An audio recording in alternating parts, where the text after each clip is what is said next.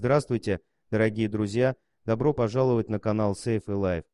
Помню, когда мои знакомые узнали, что в их семье скоро будет пополнение, они очень переживали, как их любимец, Сенбернар по кличке Тайгер, отнесется к появлению малыша. Тем более, все мы знаем о мифах и легендах, которые бытуют в народе по поводу того, что ни в коем случае нельзя оставлять ребенка с собакой. Однако эти 15 сладких пупсиков с огромными домашними питомцами доказывают совсем обратное. Проверено, что ни одна нормальная собака без отклонений в психике не тронет младенца ни под каким предлогом. Более того, очень часто дети вырастают лучшими друзьями с животными, ведь те оберегали их и защищали в буквальном смысле с пеленок. Между прочим, в семье моих знакомых именно так и произошло.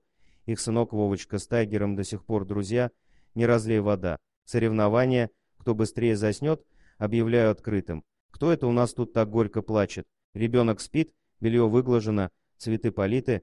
Мой господин. Кусочек рая на земле. Честное слово, мы просто игрались, и тут он уснул. Хоть картину маслом пиши. Спят усталые игрушки и детишки, и зверюшки. Хозяин, малыш спит как убитый, зуб даю. Ничего милее в жизни не видел. Я хотел с ним поиграть, а он предательски заснул. У тютю уровень мимимишности зашкаливает. Вот как выглядит час тишины в доме. Все равно тебя не брошу, потому что ты хороший. Наконец-то уснул, я уже замотался убаюкивать. Сколько любви в этом фото. Знаешь, мне иногда кажется, что во многом собаки ведут себя куда лучше людей. Я слышал о случаях, когда животные спасали малышей от опасности, выносили из горящего дома, начинали громко лаять, когда кто-то чужой приблизится к коляске, охраняли и защищали беззащитных грудничков. Вот она, настоящая идиллия.